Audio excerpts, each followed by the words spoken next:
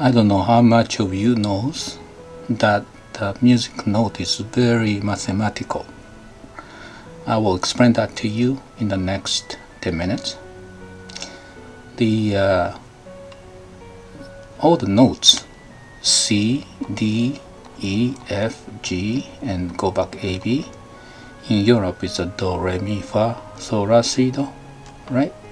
Okay, the note has a frequency assigned, and this was done by music instrument makers and musicians, basically early uh, Europe. Okay, the lowest sounds like a 16 hertz. That's not sound, just vibration. Human ear cannot hear that low. Okay, and that's like a, a pipe organs and stuff. Next C is 32.7 hertz, which is the lowest frequency of the uh, uh, piano.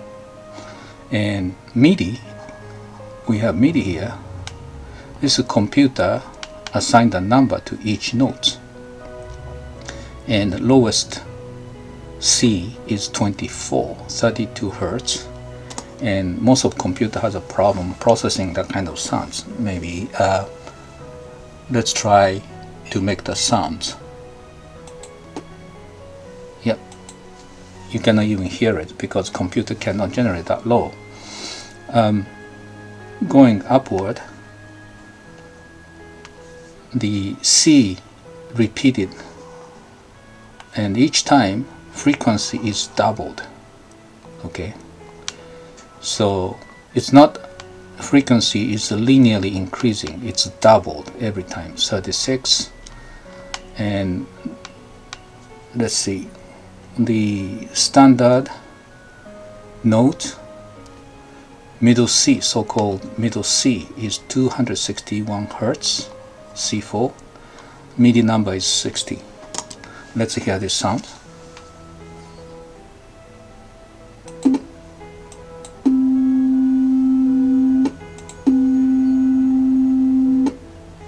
Okay that's the sound most of the instruments are tuned together that's the middle C. Um, the lower C is like lowest note for viola. Uh, let's hear the sounds. Pretty low. Okay. Now going upward. The highest uh, average human females highest sound is a C6 and that's 1000 Hertz. So that's the sounds of the average female's highest tone. Going upward the highest note for flute. Let's try this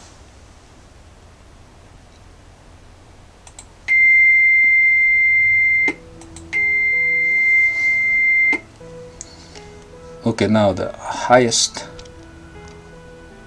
note C8 this flute's highest 2000 Hertz to 4000 this is probably upper limit of the human.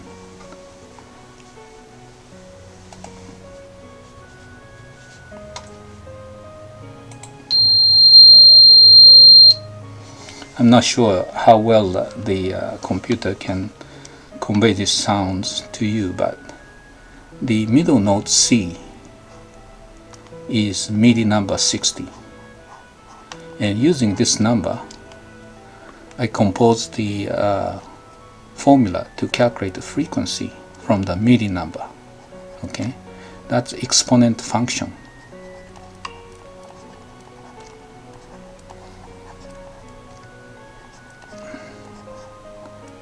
So that means MIDI number, which is a linear number, 47, 48, 46, uh, between C, C to C,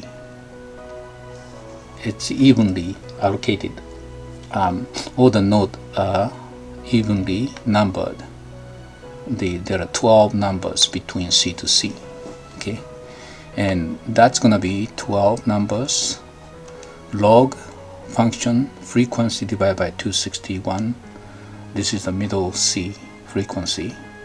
So because this 60 is a middle C's MIDI number.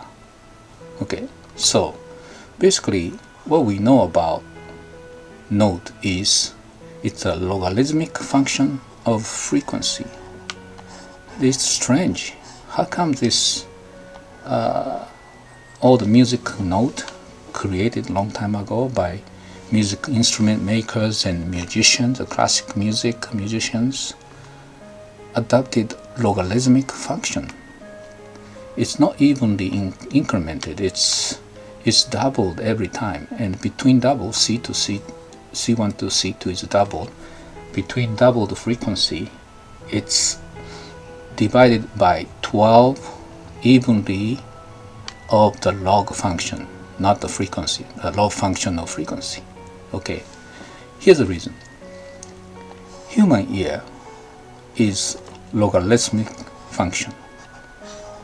Well, not only human, the dog and other animals seem to be logarithmic function. There is a biological reason for that. Logarithmic function can cover much wider range of frequency.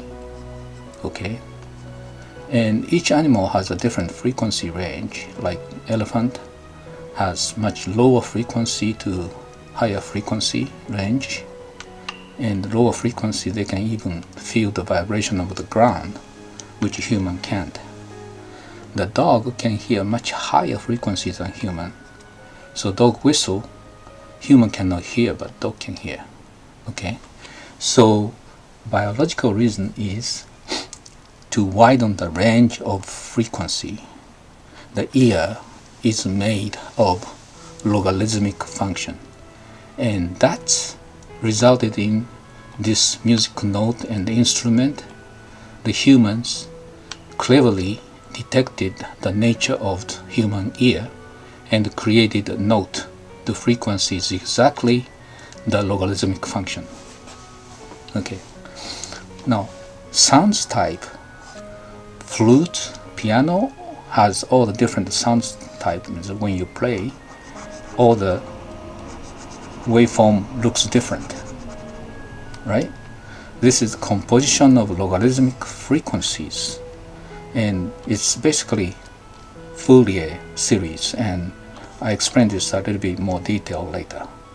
Okay, and not only sound type, harmonic sounds, certain sound composition is good for human ear and certain combination is bad for human ear. There is so-called harmonic sound combination.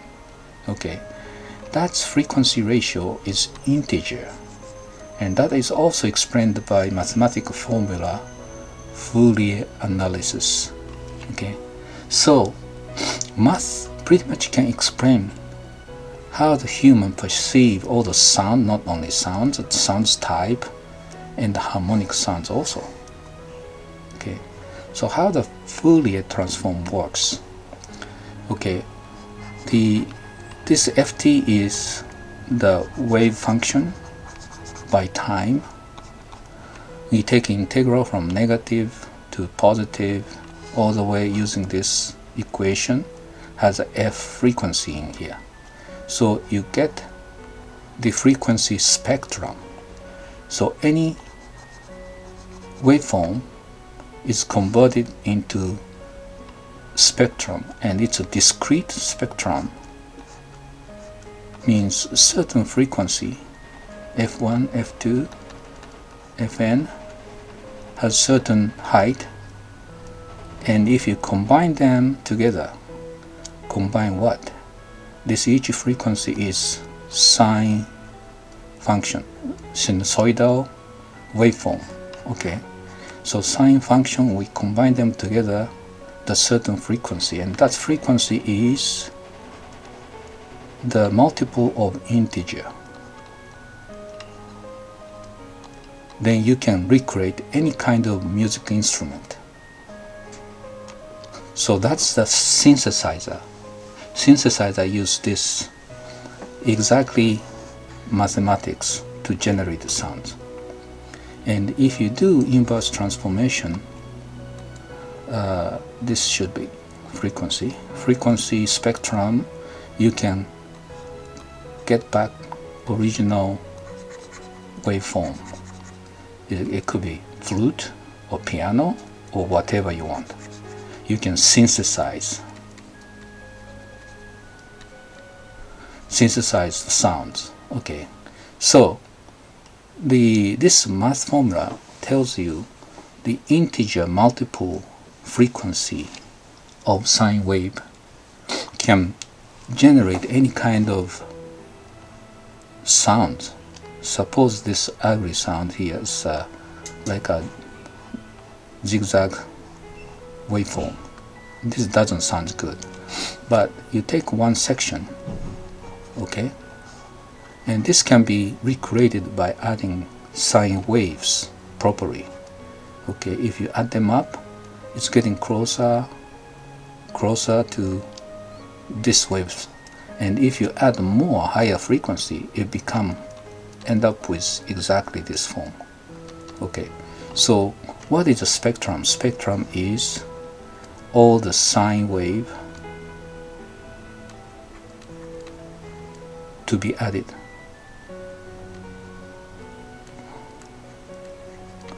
And Fourier analysis is to obtain the spectrum from the analog signal. Okay.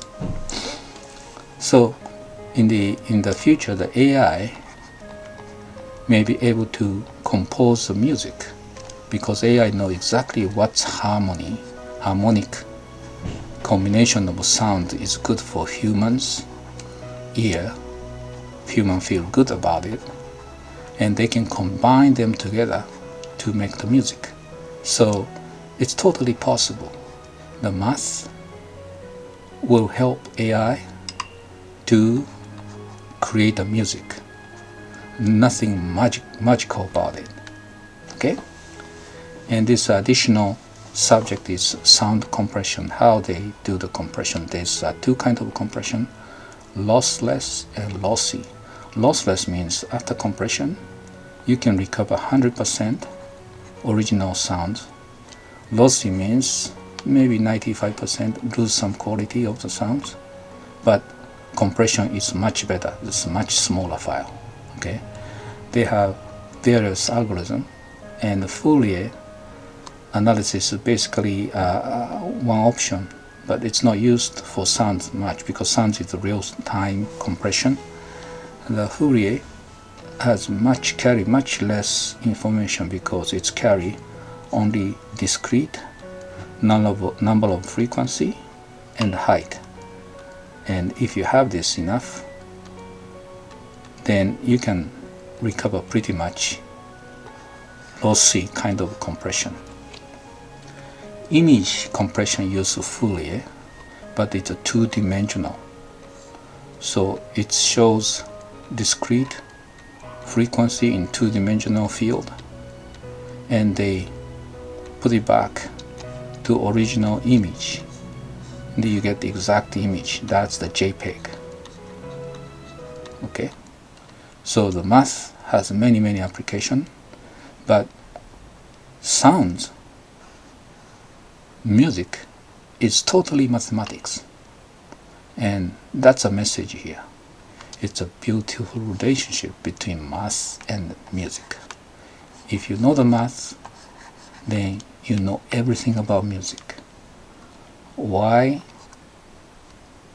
the C notes frequency doubled that's all in the math okay I hope you enjoy listening these videos and please check other interesting videos thank you for listening